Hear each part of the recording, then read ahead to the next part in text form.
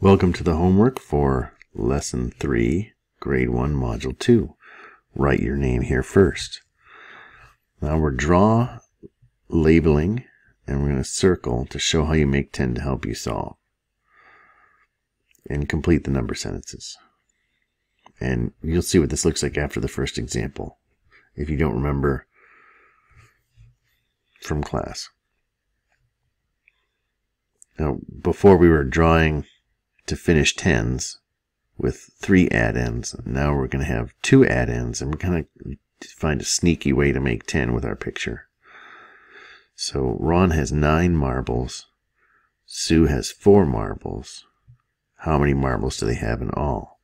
So here's Ron's nine. One, two, three, four, five, six, seven, eight, nine. Those are Ron's marbles.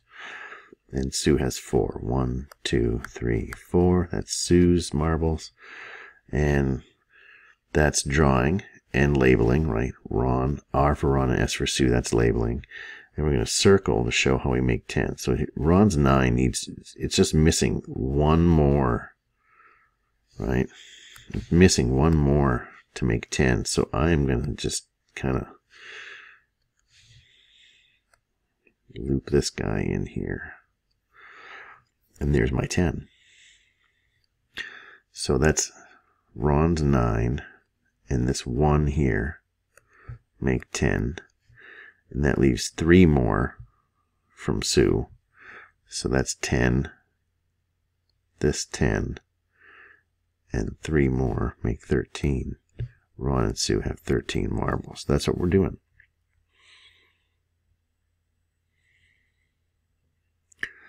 Jim has five cars and Tina has nine. So we have Jim has one, two, three, four, five. J for Jim. Tina has nine. One, two, three, four, five, six, seven, eight, nine. There. Now you could take Jim's five and five more from Tina and make 10 that way. But usually it's easier to take the big number and just add a little bit more to it. So we're looking to take Tina's 9 here, and we're going to loop one of Jim's cars in with Tina. Since we're counting them all, we'll count that 10 right there. And then we can see that there's 4 outside of there. So it's 9 and 1 make 10. And there's 10 in those 4 that are left out make 10, 4, 14. Jim and Tina have 14 cars. Stan has six fish and Meg has nine. How many fish do they have in all? Stan's six fish. One, two, three, four, five, six. Meg has nine. One, two, three, four, five, six, seven, eight, nine. You can see she just needs one more. Oop, got a label. Meg's nine and Stan's S right there. Six.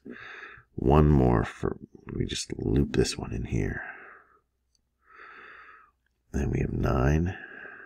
Meg 9 and Stan's one more makes 10. And Stan's 5 still has 5. So 10 and 5, 15. They have 15 fish. Rick made 7 cookies and Mom made 9. How many cookies did Rick and Mom make? So Rick has seven. One, two, three, four, five, six, seven. Those are Rick's cookies. Mom has one, two, three, four, five, six, seven, eight, nine. These are mom's cookies. Now, when you look at these numbers, here's Rick's seven and mom's nine.